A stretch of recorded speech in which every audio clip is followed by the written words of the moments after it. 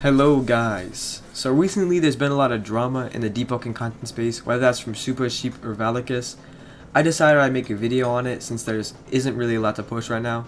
First thing I'm going to say is, about the Sheep and Supaa thing, I'm mainly siding towards Sheep. I do think that there is some possible way Supaa could come back from this and make some apology video addressing it, admitting what he said was wrong. But right now, he's pretty much eh, completely ignoring it and he's just going to keep posting like nothing happened. I do think that Valakis making that out of context expose on Sheep was a bit weird. I am friends with both Sheep and Valakis, they're both great people that I, I do talk to sometimes, but still I think that Valakis should have held Supaa accountable.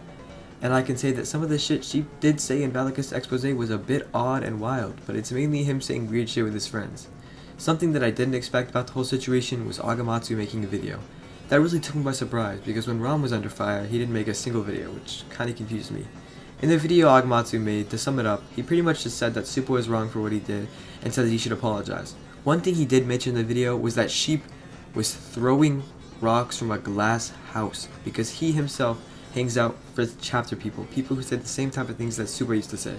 I guess to say he's a hypocrite, and that didn't make very much sense to me since Aga used to hang out in chapter calls, or at least I was told he used to hang out in chapter calls. That's not me saying Aga's a chapter member or super associated with them, I'm just saying he kinda used to hang around there every now and then and still kind of talk to those guys every now and then.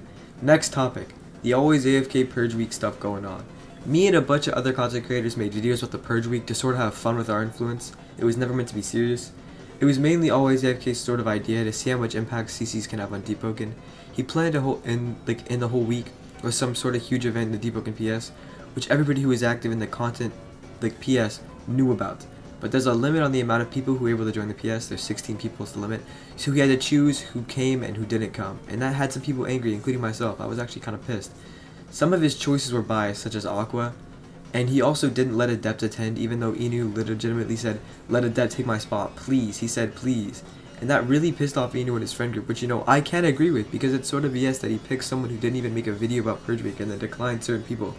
Don't get me wrong, I'm fond of Always AFK, he's a good friend of mine. And unlike some other CCs, I can tell people when their friends are wrong. Basically, on the day of the event, Always AFK gathered 10 people who were participating because 9 of them didn't come. There were supposed to be 19. And when the event was starting, Inu and his friends griefed them, which was a bit odd, but completely made sense. He's mad, and all of his friends are mad because it was kinda BS. Do I think that both parties were wrong? Hell yeah, griefing a huge event is lame, but so is being biased. Alright guys, I just figured I'd make a video on this without a biased standpoint, and I'm not a drama white here, so don't expect any more drama.